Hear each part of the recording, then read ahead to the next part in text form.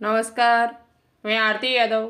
और जैसा कि आप सभी को लगभग पता चल चुका होगा कि Uttar Pradesh state medical faculty के द्वारा सेकेंड राउंड की प्रोसेस स्टार्ट कर दी गई है। बहुत सारे स्टूडेंट्स वेट भी कर रहे थे कि कब सेकेंड राउंड स्टार्ट होगा। तो डेट भी इन्होंने जारी कर दी कि रजिस्ट्रेशन की लास्ट डेट क्या है चॉइस फिलिंग कब से लेकर कब तक होगी।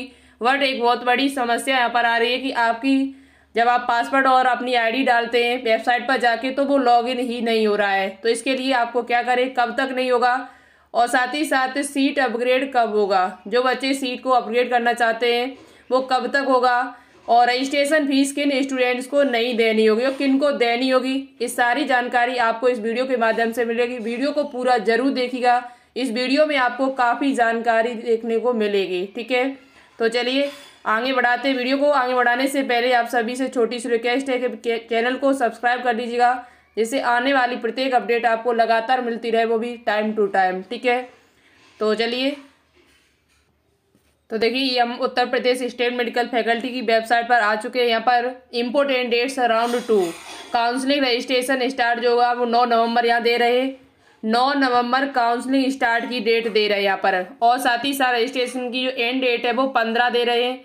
पंद्रह नवंबर। उसके बाद चॉइस फिलिंग जो आपकी है वो नौ नवंबर से स्टार्ट कर सकते हो और सत्रह नवंबर तक इन्होंने दे रखी है। बट यहाँ पर जब आप रजिस्ट्रेशन करते हो, यहाँ पर लिखा हुआ है log in for two registration user click है तो जब आप यहाँ पर क्लिक करते हैं और जब इसे अपना आईडी और पासवर्ड यहाँ पर डालते हैं एप्लीकेशन नंबर और पासवर्ड अपना कैप्चा भरते हैं और लॉगिन जब आप करते हैं तो आपको कुछ इस प्रकार से दिखाई देता जो अभी हम आपको आगे दिखा रहे हैं। तो देखिए, जैसे ही आप अपना आईडी और पासवर्ड यहाँ भरते हैं तो आपको आगे का जो पेज नज़र आता है, वो कुछ इस प्रकार का आता है। यहाँ पर रजिस्ट्रेशन चॉइस फिलिंग का कोई भी ऑप्शन इन्होंने अभी तक नहीं दिया हुआ है। और अब आपको क्या करना है तो आपको शाम तक वेट करना है। शाम तक ये वेबसाइट जो है, वो अपडेट कर दी जाएगी।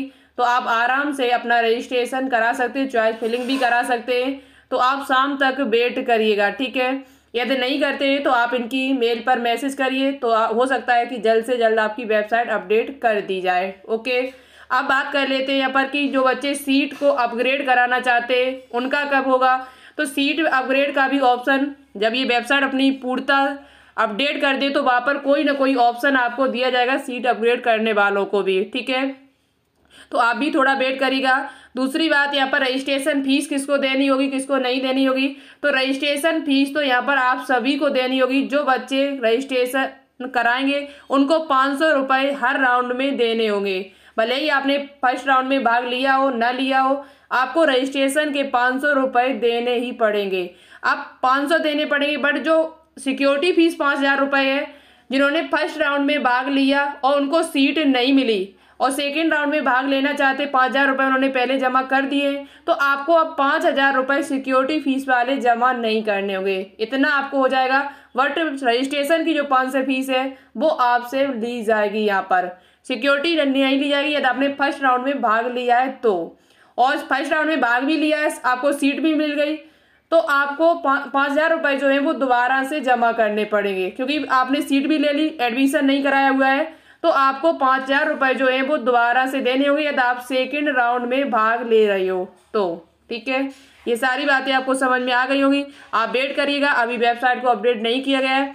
आज शाम तक हो सकता है कि आपकी वेबसाइट जो है, वो अपडेट कर दी जाए। हो सकता है कि आज दिन में रात बारह बजे से पहले भी हो जाए, ठीक है? तो चलिए कोई डाउट है तो कमेंट करके पूछना। उसका रिप्लाई देने की कोशिश करेंगे। Thank you so much all the best जय हिंद